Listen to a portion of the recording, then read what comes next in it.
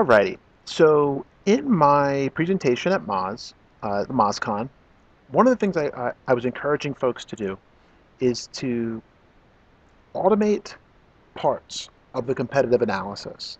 The data aggregation and the how do I stay on top of what my competitors do. So you can obviously see that presentation on, um, on my slide share, but I wanted to give a real example of uh, how this actually works in the flesh. So basically, um, one example that I'm using here is with this site BuiltWith. And BuiltWith, if uh, Macy's.com was one of my competitors, it just kind of gives me an overall technology overview of, you know, the e-commerce platform they use. Um, you know, I can even get, uh, you know, what kind of A-B testing software they might be using, um, kind of analytics. Uh, you know, I can see that they're using um, different things for customer feedback or to improve conversions, uh, like Monetate and the test things. I can see they're using test and target. So you can kind of see what they're up to and what kind of technologies they're deploying. Think about what you could do, or like in competitive intelligence, if you knew the minute that your competitor installed a software that does A-B testing. It might tell you that they're starting to make investments in certain places, right? Which hopefully will then get you uh, the ability to get buy-in from your managers to do the same thing.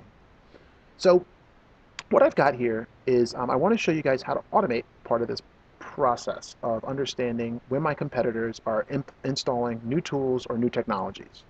So that starts with page 2 RSS. What you basically would do is you would take this URL here from BuiltWith, you would copy it and paste it into page 2 RSS, and then it would come out with a page that looks like this. And there is a RSS feed right here that you would then copy and paste in to if this, then that which I'm going to show here. So basically what I'm going to do is I'm going to create a new recipe and I'm going to say if this happens. So if in a feed, I'm going to paste it into here. Here's my feed. It's not my feed. Let me get my feed. Copy it from here. Drop it into here. And now I'm basically saying, okay, um, anytime something changes to that page, every time that page changes, I want you to do something. Uh, and what I wanted to do is I wanted to go into Evernote, and I wanted to create a new note for me. Conceptually, by, uh, by putting all this in Evernote, it allows me to say that maybe once a week, or once every two weeks, or once a month, whatever the interval that's right for you and your client is, I want to go into Evernote and open it up and see all the different things my competitors have been up to. It could be everything from links they've attained to um, to new technologies they're using to brands that they're making videos on in YouTube. Um, and I show all of those different examples in my uh, in my slide deck.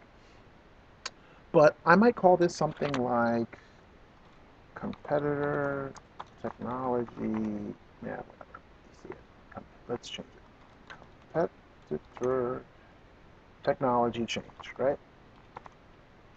And um, I don't really care what's in the body, but my notebook might be uh, Macy's, for instance.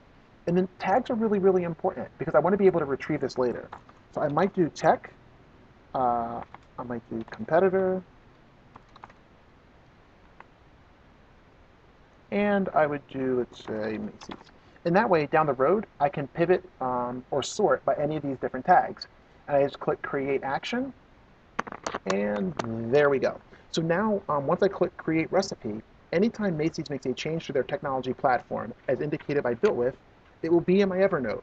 So then if I check it weekly, monthly, bi-weekly, whatever it is, um, I'll know kind of what they're up to and how I can go about um, ensuring that I'm able to compete.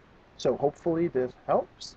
And uh, if you guys come up with some of your own recipes, feel free to share.